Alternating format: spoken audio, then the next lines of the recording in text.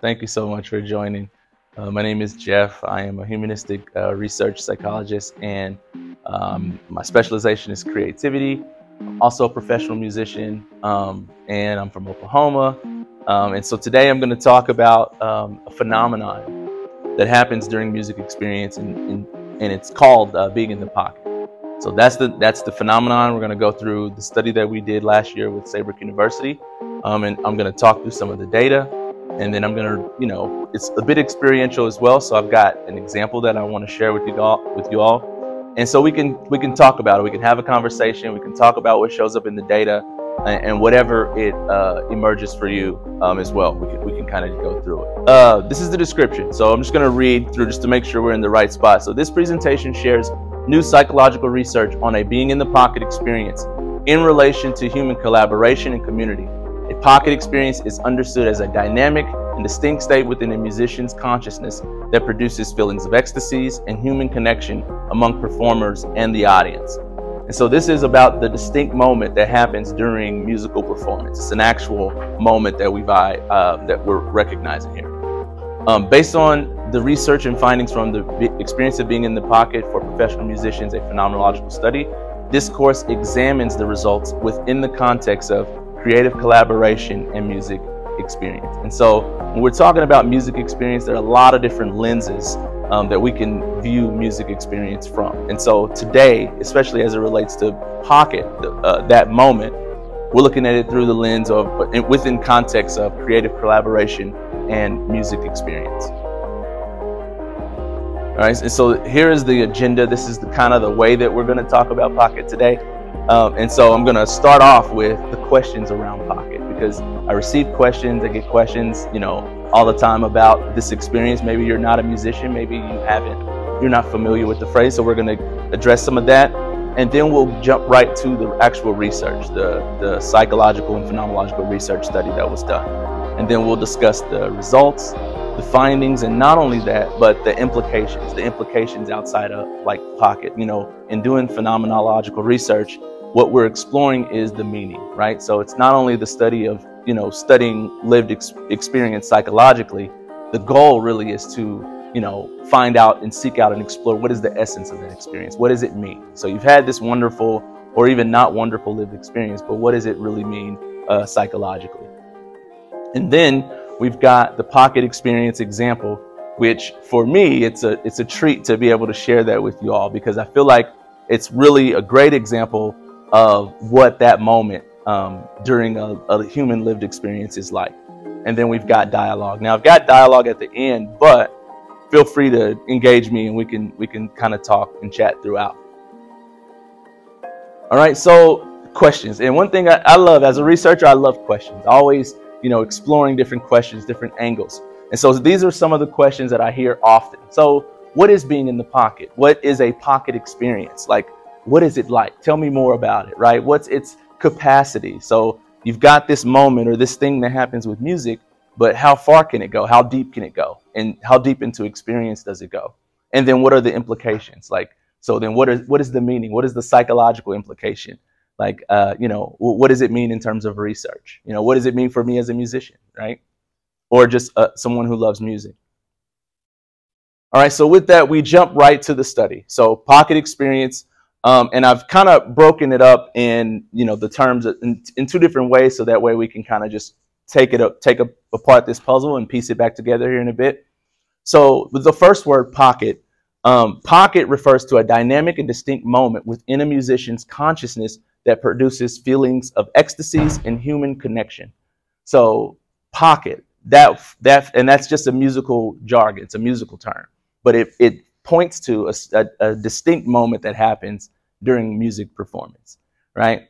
Um, so I, you see me smiling because it's kind of hard for me to talk about pocket without even getting excited. Um, and it'll make a little more sense as we get into the data and the research. But for musicians, um, that is something that is, is known. And I'll tell you this, so when we started the research, as I was doing the process of going through lit reviews and really trying to figure out what will my topic be, um, pocket, the word pocket that I'm familiar with and grew up with, was not, it didn't exist in any of the scholarly articles and none of the writings, right?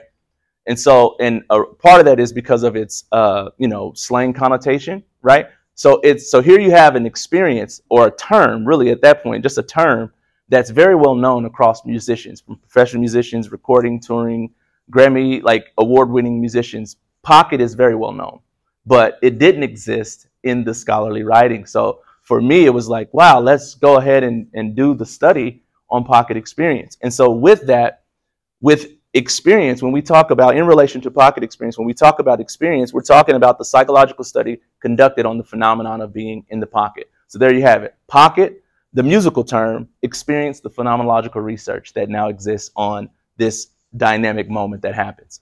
So the title was The Experience of Being in the Pocket for Professional Musicians, a Phenomenological Study.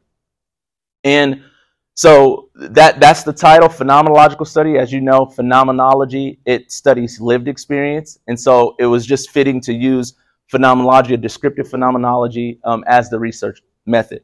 And so last night we were talking about, uh, we were having a conversation with um, a few people about Husserlian phenomenological, uh, philosophical phenomenology, which Husserl developed that, and then it was Amedeo Giorgi who actually developed the descriptive phenomenological method by which we can measure the quality of lived experience.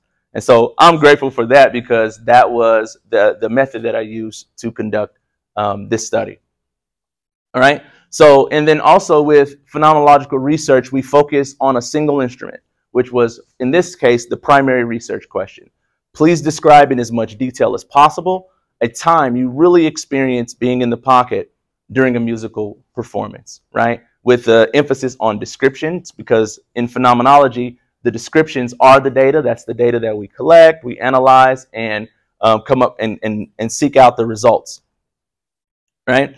Um, so the re research participants were four professional musicians who could recall a specific pocket experience and were willing to describe this experience in detail. Again, with the descriptions, the more details, the better, the more data that we have, right? And then as a phenomenological researcher, our job is to make what's what's uh, implicit explicit in terms of meanings, right?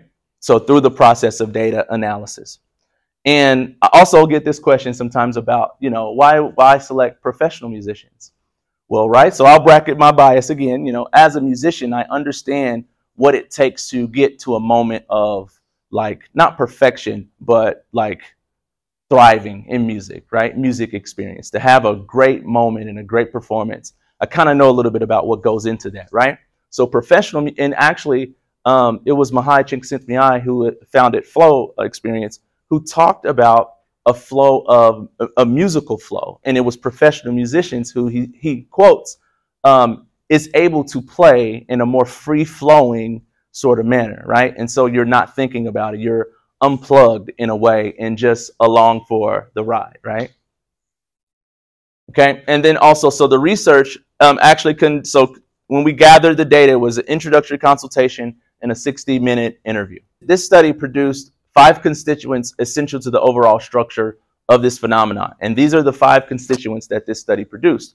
And I'm going to spend a little more time on this in the next few slides, but I'm just going to kind of go through it. So spiritual and dynamic embodied energy, a state of temporary uh, disruption in time awareness, a heightened connection between the audience and musician ensemble, a balanced state of contrasting feelings, and a completion of aesthetic experience.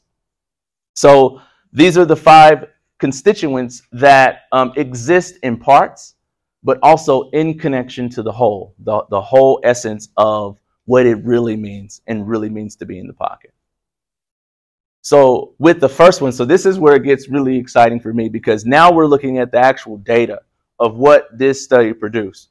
And so with the first, uh, with the first constituent, the spiritual aspect or the spiritual constituent of being in the pocket experience, it reads, for the participant, being in the pocket is a spiritual and, and dynamic embodied energy with its own directedness that originates outside the musicians themselves. The participant is aware of this experience when it happens. So the moment it happens, the musician is aware of it. Like it's it's it's very noticeable. It's distinct, right? And so I use the pseudonym for the uh, pseudonym for the the participants, but I'm going to read the actual data. What some people, what some of them said. So they said the pocket is a place where earthly, where earthly energy and divine energy meet. Elements of spirituality are part of the arts and music experience. There's a difference between entertainment and anointing it's a place of unreal energy. I was so drawn to the energy, it's like having an out of body experience. So one thing I want to like with the so for the participant, this moment in music is a deeply spiritual one, right? And there's this connection. There's something going on. And so and then there's also the it, the it factor, right? So the the it, it has a divine energy or it has a presence. It has a nature of its own. Um, and so three, three, actually three out of the four participants mentioned God or the divine. They said that it is divine. It is not something that we are, you know, it's it's God. This is or divine, right? And then one participant mentioned humility. Said that it, back to the it, its nature, it is a humble place. It's a place of humility. That moment during this musician's uh, consciousness. And then also, unison energy was one of the things that we discovered that happens during this experience. And unison energy is an energy that results from simultaneously sustained physical and mental musical activity relating to the pocket experience. So, in this moment of being in the pocket, the musician is committed physically and mentally and fully absorbed in this experience in the moment. The next constituent is the time disruption. So, for the participant being in the pocket, is a state characterized by temporary time awareness disruption. Um, this, this participant stated, I lost consciousness of what I played. The pocket is always a different moment in time. What changes is the people, time, experience, and expression in that moment. And so that time disruption and time consciousness is also really big in psychology and psychological research. Um, you know, in, in the question, like what, what happens in that moment? It's the best time I ever had, or I lost track of time. He said, I lost consciousness of everything I played. I don't even know what happened. I was just there. right? Sure. Maybe this is an unanswerable question, but how long does being in the pocket last? Clock time, does it vary from one experience to another? That is a great question. And honestly, that's one, of, I'm just going to give you, uh, so that's one of the implications of the research is that we don't really know the depth, the range to how long this experience can go. Um, but I will tell you this: there, in in the data, one of the participants mentioned that he was at a, a concert with Kenny Garrett, who's a saxophonist, right? And he said there was a moment with Kenny Garrett, and we were all like everybody's absorbed in that moment. And he said we looked up, and it was two hours had gone by, right? Just that moment, and he's playing, and he's got tears flowing, and like it. I mean, people were caught up in that moment. So that is also something that we can explore for, for a while. Right? Um, right? So, and then also the next one is musician audience connection. So for the participant, being in the pocket is a moment of heightened consciousness, heightened consciousness, I'm sorry, heightened connection between the audience and the musician ensemble. So Lockett mentioned, uh, one time I was heavily in the pocket, more than just locking in. Everyone was in sync. It was the body language the breathing, everyone was in unison. And so this person, um, that's not the real name, but this person, she's actually a drummer. And so she's saying, uh, you know, it's more than just locking it in. So locking in from a drummer is like foundational, right? If you're in a jam band, as a drummer, you have to lock it in, right? And then what that does is that allows the other participants, the other friends and musician ensemble to then create, help, you know, co-create together. But she said it's more than that. It was the body language, the breathing. Everyone was unison. Pocket is a spectrum. No verbal cues, no rehearsal, yet locking it in together. Timing alone. Again, she's a drummer. So timing alone can't define pocket. It's a different experience for everyone. It includes the audience and everyone on stage. Um, and then another thing I kind of want to point out is the no rehearsal. So just remember that um, as we're going along because there's something that no rehearsal thing is going to come back up. All right. Um, and then also too, this was one of my favorites because this was uh, something that I couldn't anticipate or didn't expect would happen in doing the study. Uh, and that's the balance of contrasting feelings. So for the participant, being in the pocket is a state of the individual's contrasting feelings happening simultaneously. All right, and so here are three examples of what exactly exactly what that is. So Denton mentioned something pulls you back, but it's comfortable. Be present, but not noticeable. Right? Something. Again, there's something there. Right? The it, the pocket. It pulls you. Think about that. It pulls you. That's generally, if someone, like if you're walking, something pulls you, it's kind of like, you know, jarring, right? a bit of a shock. But for this for this musician, it's comfortable. I'm totally for it, right? There is calm but fire in my belly energy. It's bliss, just being with no judgment. Right? Imagine that. Calm but fire in the belly energy. As you're this is a participant trying to describe to, to me what that's like. It's like the best way I can describe it, Jeff, is it's calm but fire, and then somehow it just that's bliss, you know, with no judgment, right? Super, like even listening psychologically, it was meaningful right away. I knew exactly kind of what we were uh, getting ourselves into um, and the goodness that you know that that produced. Um, Nor- Norma mentioned it is simultaneously trusting what you've practiced and rehearsed, then abandoning it to be present to where you're trying to go. Right? Imagine you spent all this money, all these years practicing, only to get up to the moment of performance to uh, abandon it and just trust where this experience is going to go. Right? This lived experience with music.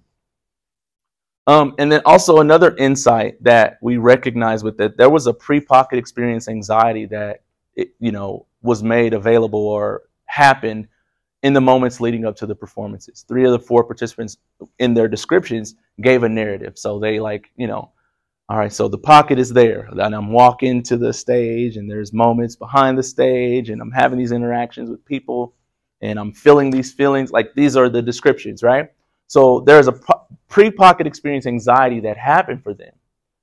But what happened is when they stepped into the experience, those feelings were resolved. So this is really where, you know, we have a dynamic equilibrium that is made available through this music experience, the balancing of contrasting uh, feelings. And then also uh, another one of my favorites is the completion of aesthetic experience. So for the participant, being in the pocket is subtle yet foundational for the completion of aesthetic experience. And so aestheticism in art deals with, you know, we appreciate something because of its beauty, you know, and then of course in phenomenology, we're seeking out meaning, but with aestheticism in art, if it's beautiful, then it's, I love it just because it's of its beauty alone, and that's enough, right? And so we also saw this with in being in the pocket, is that it has elements that are very subtle and foundational, kind of like the drummer, you know, like if we're establishing a, a rhythm, one, two, three, four, right? One, two, three, four. Very basic, right? Very subtle, but so important for the song, for the rhythm, for the pocket. It, it's, it's foundational yet subtle for the completion of aesthetic experience. All right, and then also, so one of the quotes is, um, so with ensemble, the role of everyone is to lock it in, talking about the pocket again, lock it in. That's the role of everyone. So if we're all playing together, our jobs are to lock it in. Um, in African drums, the solo is the icing, but the pocket is the cake, right? So the creative, the creativity and the, the improvisational solo is the icing on the cake, but really the, the cake itself is the pocket and by which we all collaborate and contribute to that experience. And then Lockett mentioned it's bliss just by being on earth in this moment. It's like talking about a music experience. The best way, it's in this moment because it's a here and now phenomenon. It's just bliss. That's the best way I can think of it, right?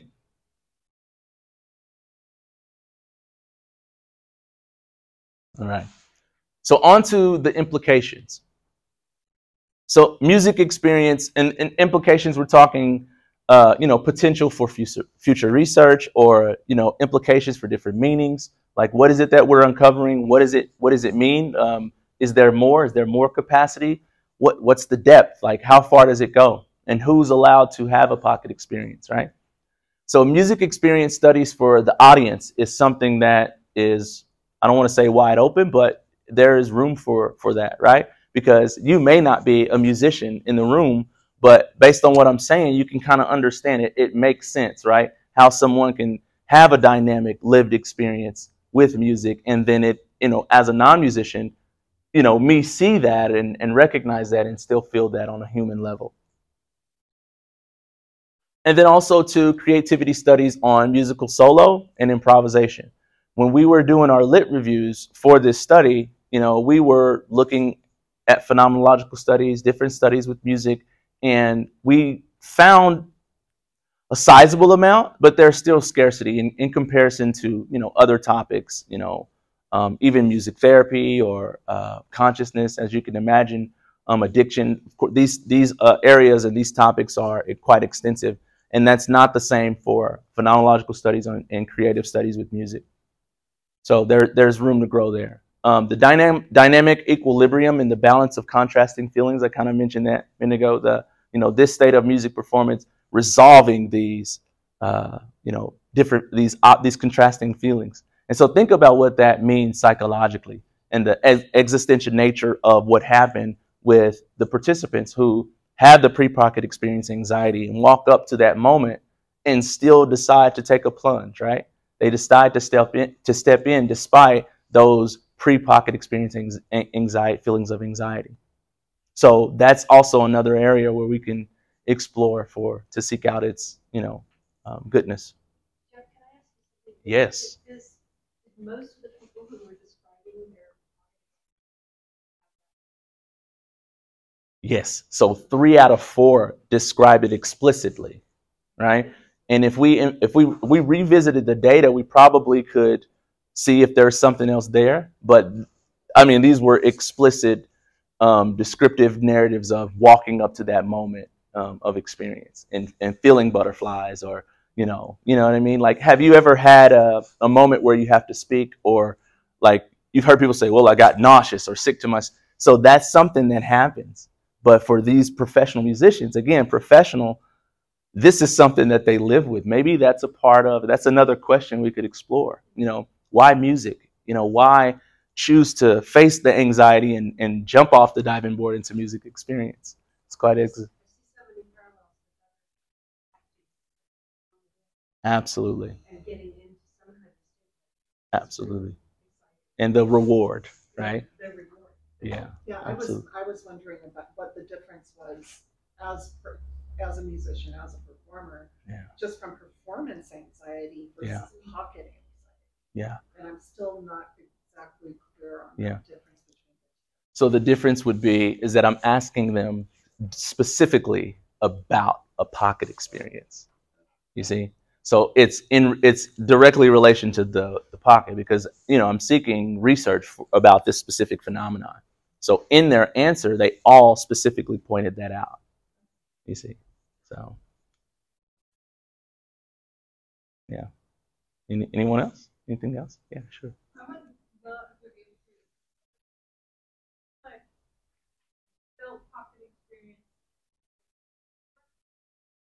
Um, well, absolutely.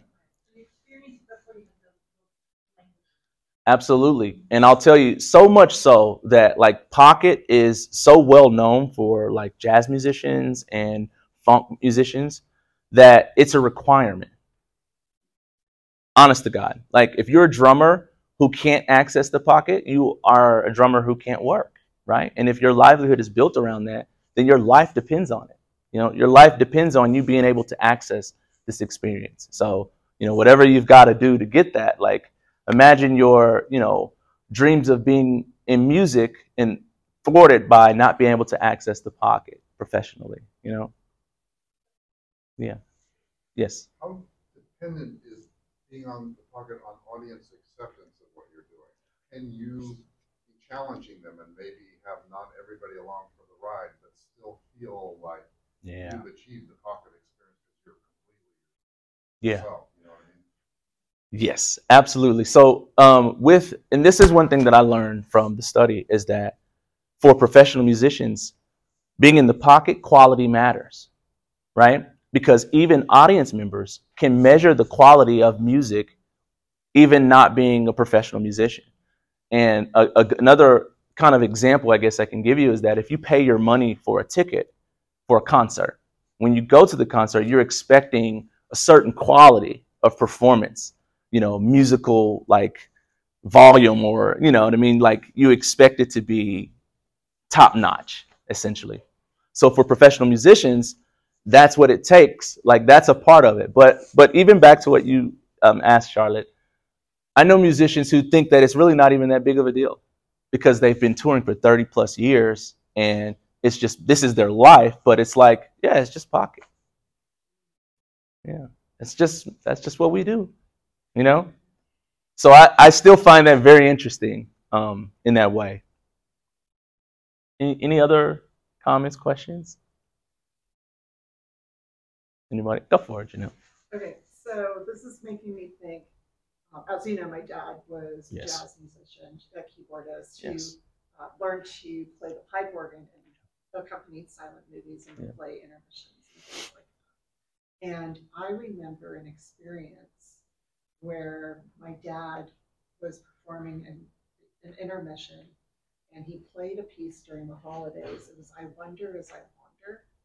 And when he ended that song, there was complete silence Yeah, in the theater because we were, it was mesmerizing.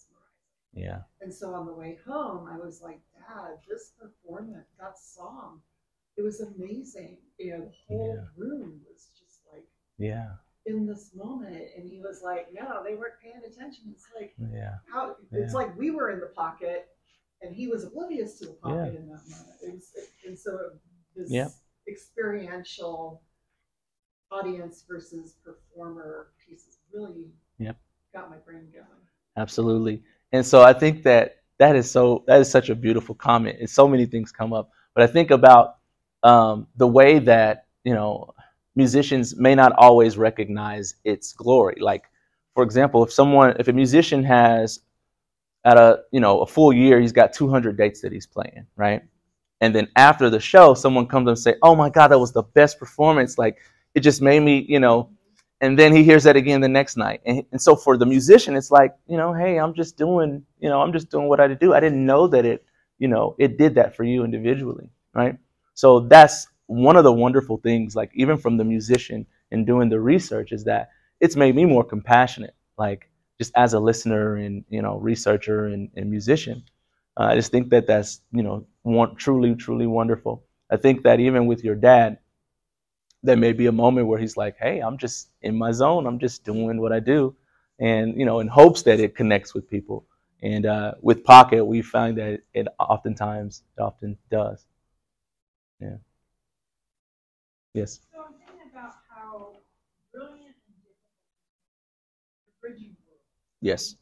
and um, just struck by that and appreciating that. But also thinking about, do you find people resistant to talk about it? Um. N- n- uh, well, I'll say this: if it's associated with a bad experience, then yeah. But I haven't personally. I could see how that could be an issue, but I haven't personally seen that because if you think about it, the question was, please describe a, a moment during pocket experience that sticks out to you, and the moment that they choose is completely up to them. But there are similarities. They normally pick a moment that happens with others. So it's a shared moment, a collective, a collaborative moment with other musicians, a moment with audience. They all mentioned a moment. This is every participant mentioned a moment with audience. And so, uh, yeah, I haven't run into that. And then also a desired state of consciousness. Like uh, one one participant mentioned, "Hey Jeff, if heaven is right here, being in the pocket is as far as you could go, humanly possible, like as a lived experience." So it's you know on a on a psychological spectrum, that's on the far end of like right next door to happiness, right? And bliss, as mentioned in the data. Another participant mentioned, you know, there was this moment and I was just up and I was soloing and I was up, up, and I was flying like a bird. He's describing this moment, a human lived moment that he's describing with music. Um, and there are there are others, right? Of course, I don't remember what I played. I just lost consciousness of everything. But um, there's a question because again, I love questions that I want to go to as we shift. So, how might this knowledge of a being in pocket experience create opportunities for human collaboration? Um, so ponder that, but I don't want to answer it or discuss it just yet. So just ponder it because I'm going to share a treat with you all that I'm super excited to share. All right. So, in context of everything that we've said, I have an example of what that actually looks like, what being in the pocket is like. Right. And so, everything that we've said um, up to now, all of the different themes, something that the participants have shown in the data, um, and then even what you observe, right? because we're going to discuss this clip next. So we're going to observe it. So I, I just invite you to be open to, to this. All right.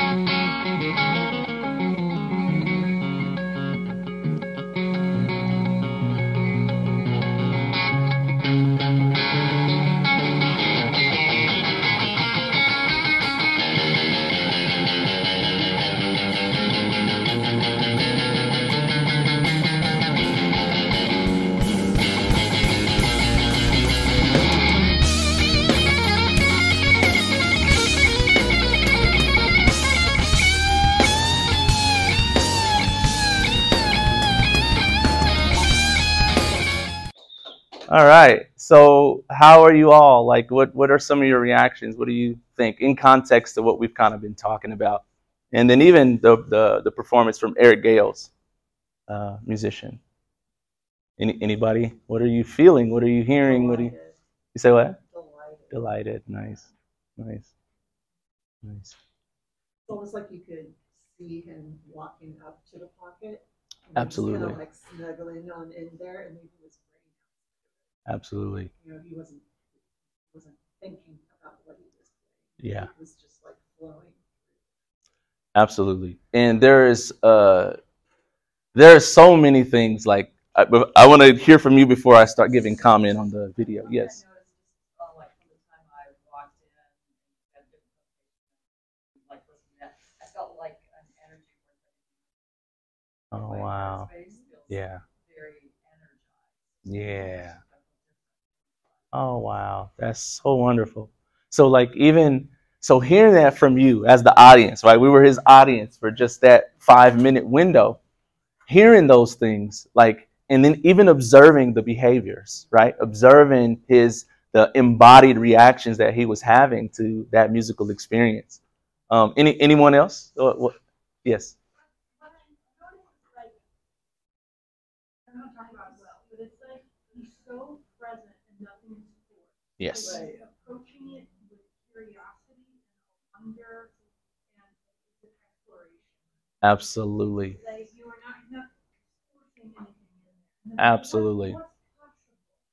Um,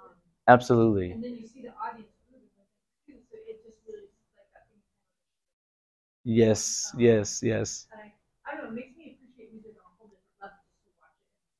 I absolutely love that. I feel like I'm not being included in the podcast now. Yeah, that and that that's the implication for the audience. It is truly a shared experience. Absolutely. Yes. And I want to give a shout out to the underlying structure because it's set up in a predictable way, Yeah. and then he's completely improvising on top of it. Yeah. But if it was gone, Yeah. you might easily be lost and not be able to follow That is what the is- relationship is, what he's picking up and what you've learned. Absolutely. The foundational subtle. Subtle. The drummer, it's a subtle experience. and the harmonic progression. Absolutely. Absolutely. So let me give a little background on the video. So that is Eric Gales. He's a phenomenal guitar player, but he's right-handed. I don't know if you he's a he it, he's right-handed, but he's playing the guitar backwards and upside down for uh like he's playing with his left hand as if it's his dominant, but he writes with his right. So he's playing it backwards and the guitar is strung for a right-handed player. So the even the strings are backwards. The tuning of the strings are backwards, which in any technical, he would have been kicked out of any place he tried to study because he's doing it the wrong way, right? Not only that, that day, because my dad and, and I were there, we that's an experience that we shared together in our last like real concert that we went to together before he passed in 2016. So there is that, you know, that part of it too. That every time I watch it, I just I feel I re, I'm reliving that experience. But not only that, the band they didn't get a chance to practice. So the whole performance that you just witnessed was improv. It was created on the spot, right? And part, yeah, right, exactly. So, and a part of the reason for that is that he showed up late and was just kind of, you know, wasn't on time or whatever. But he wasn't. He's like, ah, don't worry, just follow me. We'll, you know what I mean? And so there are a few ways that you can view that. Like, here's this arrogant artist, right? But then again, this is his creative process, right? This is what it takes for him to get in the mode where he can forget about the audience, but then give them a huge part of who he is, right, as a musician and as an artist.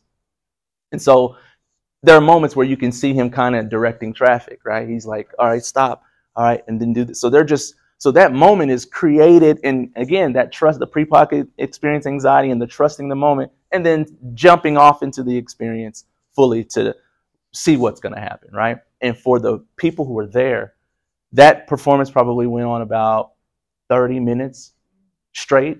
Like, it was amazing. It was, I can still feel it, but I felt it even more than being in, in, in there in person. So just, so yeah, you can, go ahead. Just understand, did, did he normally play left-handed or just that night he decided? No, he was he was trained the wrong way because his brother was a true lefty, and his brother taught him to play, but taught him to play against his dominant hand. Yeah, Yeah. But think about what he unlocked creatively on accident, right? In responding to chaos, Ruth. I see the point where studying this with professional musicians is almost a prerequisite because my sense is that it's this is a little different from flow in that there needs to be a level of musical mastery Yeah. to be able to Yeah. let it go and trust in that group. Like Yeah. you all are, you know, you're professionals. You will be able to just Yeah. swim with me Yeah. in this space, and we'll you know, we'll be able to do this together. Yeah, absolutely. Uh, and so since you mentioned flow, I've actually got uh, a slide. So go ahead and say,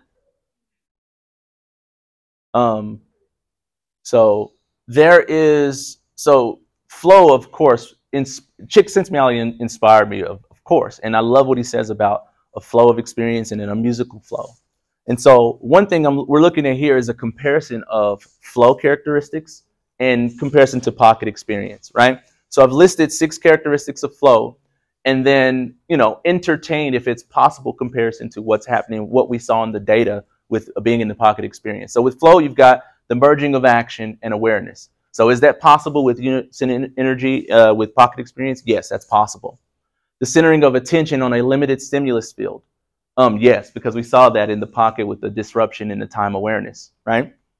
The loss of ego, self-forgetfulness. Yes, we saw that in uh, the pocket experience as well in the spiritual component. The sense of still being in control of one's actions and environment without awareness of control. Uh, no, because we don't have control uh, in in the pocket. The participants said that it has control. It has a nature of its own. It takes on a nature of its own. Right? When you step into the experience, it is beyond what we can. You know what I mean? It, it's beyond the individual. Right? So usually contains coherent, non-contradictory demands for action and provides clear, unambiguous feedback to a person's actions. No, uh, that's not the, that's not the same within a pocket experience because again, that fire, calm, and fire in the belly energy creates those those states balance each other in this music experience, as one participant described it. That those contrasting feelings somehow equal bliss during this during being in the pocket. Um, and then appears to need no reward or goal external to itself. Um, yes, that is that also exists in pocket experience because there's aesthetic expletion. You- You're doing it for the sake of doing it. It's fun, and that's why we do it. yes, Sort of a question. yes. Can we expand our definition of control? So like, I, had quantum mechanics on my mind at the moment.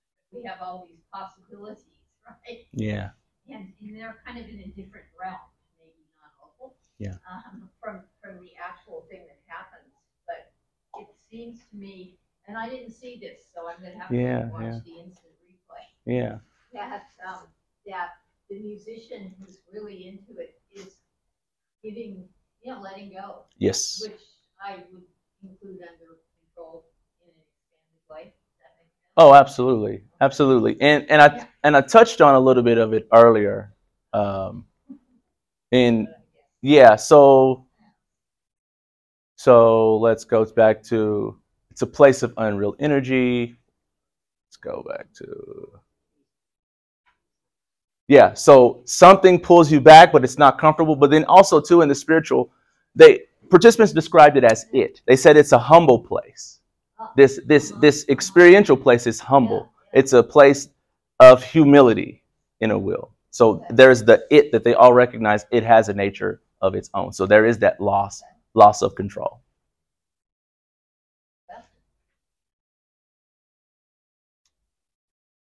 Any, any where do you take it from? where do I take it from here? Just continuing to talk about it, continuing to talk about this experience, um, creating opportunities where people can experience Pocket and talk about that, um, be able to witness it. Um, and so I want to work with professional musicians and then, you know, lovers of music to create moments where we can have these distinct moments and process whatever feelings and thoughts um, are created in those moments. Yes. You- These four musicians that you worked with and spoke with and interviewed, what do they all play? I know Yes. So one of them uh, is a saxophone player who's toured, traveled. He, he studied at uh, San Francisco um, Conserv- Jazz Conservatory, and but he's also an African drummer. So with him, he's a multi instrumentalist. Another one is a Grammy Award winning uh, musical director for a lot of people. If I were to name them, you probably would know who they are exactly who they are. Uh, but he multi instrumentalist. He plays piano, keyboard, but he's classically trained from University of North, Tex- North Texas. He studied there. Another one is a drummer, and she's a touring drummer, amazing. Um, but she's also from a. I don't want to try not to disclose who she is. Um, but she also comes from a cultural group where drumming is a part of their culture. So she's a jazz drummer. She's like anything drums, she can pretty much sign up for the gig. And then the last participant is a singer and a piano player. And genres? Genres, yeah, jazz, classical, um, classical music, classical piano, um, opera, R and B, gospel, um, funk. find that talking about this being in the pocket, you mean you were uh, sticking within certain genres, or were you like going out? Because Yes, classical yes, Although I do others, you know, the, um, hundred percent experience. yes, Have different vocabulary. yes, And it's also, a lot of what you're talking about is within improvisation. absolutely. So I would encourage you not in any way to limit, because you're gonna find it everywhere, whether or not it's. So pocket as a term is limited. As an experience, it's not limited to genre. And there was because I asked that question to one of the musicians who is classically trained, right? And he said no. He said pocket is what we've always called it. Again, there's that jargon. It's just you know we've just talked about it. It's just pocket, right? It's not really that big of a deal, but it's a significant phenomenon. You know, of course, after we've seen what happens um, with the science. But yeah, it doesn't have a limit. He said that even with if I'm playing Mozart, he said it's a different moment in time every time I play it. And so that's a, we're talking about the exact same thing. So it's not limited in that way. And that's even a different type of creativity where you're being creative in collaboration with that composer. Absolutely. You know, so that died centuries ago. right? Absolutely. And uh, recreating it every time. Yeah. If I'm if I'm playing Beethoven, I'm I'm playing Be- Beethoven. So there's a part of me that is in that experience as and if it's before audience, that's even better. I'm I know we're probably at time. Yes. I just wondered if you might want to tell the group about like the nonprofit that you started. uh, Work that you are planning and like to do with groups and music. Absolutely, absolutely. So I, I started the Music and Expressive Arts Center of Oklahoma um, organically because I couldn't find another.